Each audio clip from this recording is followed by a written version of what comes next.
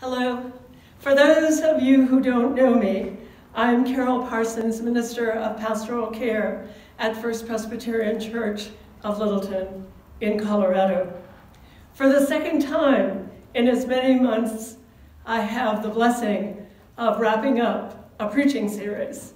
And so I wonder, am I getting a reputation as a closer? Might be too soon to tell. Through Advent and now into Christmas, we've been exploring the theme of the present of presence, the gift of God in and around us and through us and through others, and of course, through Jesus, Emmanuel, God with us. In those past recent weeks, I hope that becoming more aware of the nuances of the presence of God has added a positive dimension or two to your spiritual journey. And today, on this first Sunday of Christmas, by the grace of God, I'm hopeful that we can explore the presence of God by looking for God wherever we're at. A quote from the Baseball Hall of Famer Yogi Berra comes to mind. Yogi, who died in 2015 was one of the greatest catchers who ever lived.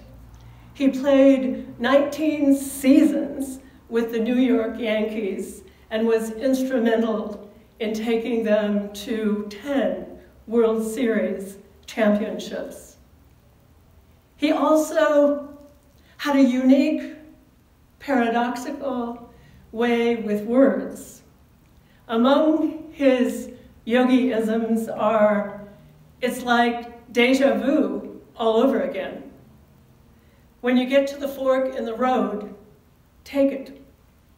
Baseball is 90% mental, and the other half is physical. And my favorite, and especially for us today, you can see a lot just by looking.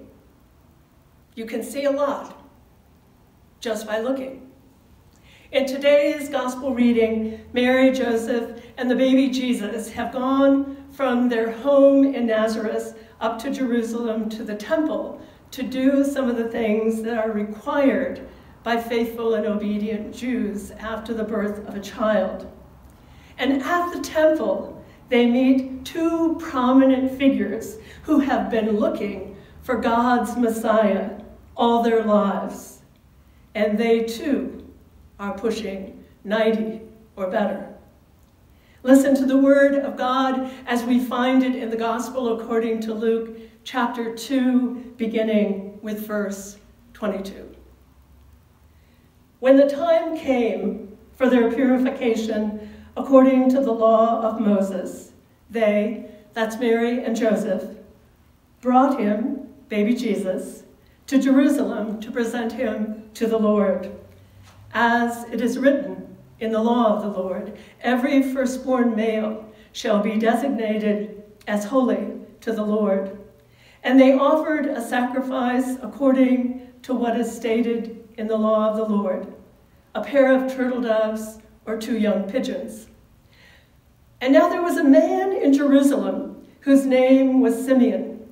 This man was righteous and devout, looking forward to the consolation of Israel, and the Holy Spirit rested on him.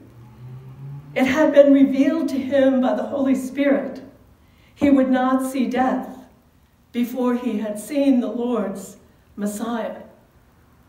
Guided by the Spirit, Simeon came into the temple, and when the parents brought in the child Jesus to do for him what was customary under the law, Simeon took him in his arms and praised God, saying, Master, you are dismissing your servant in peace according to your word. For my eyes have seen your salvation, which you have prepared in the presence of all peoples. A light for salvation, or excuse me, a light for revelation to the Gentiles and for joy to your people, Israel. And the child's father and mother were amazed at what was being said about him. Then Simeon blessed them and said to his mother Mary, This child is destined for the falling and the rising of many in Israel, and to be a sign that will be opposed, so that the inner thoughts of many will be revealed, and a sword will pierce your soul too. There was also a prophet Anna, the daughter of Phanuel of the tribe of Asher. She was of a great age, having lived with her husband seven years after her marriage, then as a widow to the age of 84. She never left the temple, but worshiped there with fasting and prayer night and day. At that moment, she came and began to praise God and to speak about the child to all who were looking for the redemption of Israel. When they had finished everything required by the law of the Lord, they returned to Galilee, to their town of Nazareth. The child grew and became strong, filled with wisdom, and the favor of God was upon him. This is the word of the Lord, so thanks be to God. This wonderful passage, which closes out the birth narrative, is chock full of faithful people. It begins by emphasizing Jesus' parents' faithfulness to God, and that's why they are where they are at the point in time when the passage begins. Mary and Joseph and baby Jesus in tow are at the temple in Jerusalem because of their obedience to God. The law of Moses, religious law, required that a woman, after giving birth, needed to be purified. Now, that doesn't mean that the mother was considered dirty, but it means that the power of the blood of childbirth uh, was still with her, and that power had to be uh, mitigated uh, before she could return to the normal life in her community and, and worship fully again. It is a little in modern times, like when astronauts and perhaps workers in nuclear plants have to go through a certain re-entry process in order to return to society. The purification of a mother of a newborn son uh, took place 40 days after birth, and for a daughter, 60 days. So Jesus here is still very much a baby, only about a month and a half old. And the sacrifice typically required is a lamb. Or, in Mary and Joseph's case and others who could not afford a lamb, they could choose uh, two turtle doves or two pigeons, a less expensive sacrifice option. Perhaps, like me, you see the irony and wonder in their sacrifice, when in fact they were carrying in their arms the one who would become the sacrifice to redeem the whole world through his very own body and blood. All these details are by way of underscoring the fact that Mary and Joseph are of humble means and completely obedient and faithful to God. Faithfulness continues and swells in our story in the person of Simeon, a man who has a deep and abiding relationship with God, a man who we are told the Holy Spirit rested on. Can you picture that? Can you feel that? The Holy Spirit rested on him just simply the Holy Spirit was hanging out with Simeon.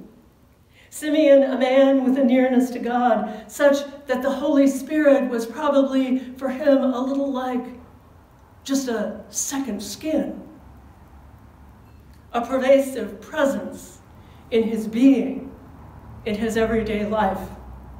Simeon was a man who, like Yogi, like Yogi Berra, knew that you can see a lot just by looking.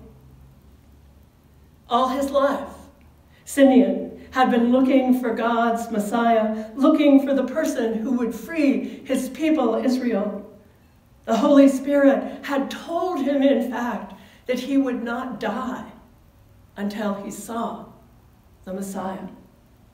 And so Simeon kept looking. In fact, Simeon has made a life of looking for Jesus. So when the Holy Family enters the temple to do all that's required of them, presenting Jesus, purifying Mary, Simeon is there. He has been led by the Holy Spirit and his devotion of looking for Jesus. The next thing we know, Simeon takes the baby Jesus into his arms and praises God. Simeon's faithful looking enables him to recognize Jesus right off the bat. No explanations, introductions, questioning, or two forms of ID required. Simeon knows Jesus when he sees him because his attention and focus has been on looking for Jesus day by day, year after year for a lifetime. He seems to instinctively recognize Jesus without any reservations at all. How amazing that must have been. A lifetime of looking fulfilled.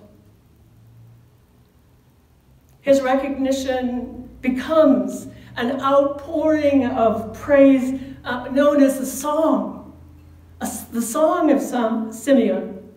He thanks God for allowing him to see and receive Jesus, who has come as promised to free not only Simeon's people, but all people, everywhere. He then turns to Mary and Joseph and blesses them, tells Mary what her son is in for, the good and the bad, how he will change the world forever and will bring to Mary both joy and sorrow. The temporal picture continues to expand with the appearance of Anna, an elderly, faithful prophet, widow, and resident of the temple. She too has been looking for the long awaited Messiah. She has kept herself poised to see by serving God, by fasting and praying in the temple day after day. Like Simeon, Anna too recognizes Jesus and what she sees and what she's been looking for, and immediately praises God, then starts spreading the good news of Jesus to others who have been looking for Jesus. Both Simeon and Anna, I think, are just such wonderful models for us at this time. The great joy of seeing Jesus that is extravagantly described in our first reading. Isaiah spares no metaphors in foretelling the effects of seeing Jesus. Isaiah. I will greatly rejoice in the Lord. My whole being shall exult in my God, for he has clothed me with garments of salvation, as a bridegroom decks himself with a garland. For Jerusalem I will not rest until her vindication shines like the dawn and her salvation like a burning torch. That was then. So where is Jesus now? Where might we see Jesus now? We've celebrated Christmas, exchanged gifts, eaten so many delicious candies, cookies, and savory dishes, heard the awesome music and the amazing message. The Christmas tree is starting to drop its needles. Where is Jesus now? Psalm 139 reminds us that there is no place where we can go where God is not already present. If I ascend to heaven, you are there. If I make my bed in Sheol, you are there. If I take the wings of the morning and settle at the farthest limits of the sea, even there your hand shall lead me and your right hand shall hold me fast. And it goes on beautifully with the point being that God is everywhere, even in what are sometimes called God-forsaken places and situations. So maybe, just maybe, our question today and going into the new year of 2020-21 is not so much where do we see Jesus, but can we see Jesus where we're at? Can we see Jesus right where we're at? It's sort of a spiritual, if you will, where's Waldo? He's always there if we just keep looking. Anna and Simeon were looking for Jesus every day for years, many years. Perhaps the most important takeaway for us is that their faithfulness wasn't in where they were at, but in looking for Jesus where they were at. And what might we do when we see Jesus. We might do like Simeon and Anna and take Jesus into our arms, take that experience into our arms and give thanks, praise God, and tell all of our friends what we're experiencing and what can be found when we keep looking for Jesus where we're at, whatever our circumstances. Yogi Berra tried to compliment the wife of the mayor of New York City concerning the ability of her to look so good on a very hot summery day by saying, you don't look so hot. Hot or not, we can rest assured that God in Jesus is with us and we can see him by looking for him wherever we might be, in all the places and situations of the new year. Looking in the way of Simeon and Anna offers each of us, I think, a good spiritual practice to add to our spiritual toolbox. Looking for and recognizing the present of presence in our daily lives wherever we are. And so my prayer for you and for me is that we'll continue to faithfully look for Jesus. Whatever we're going through, wherever we're at, for truly, you can see a lot just by looking.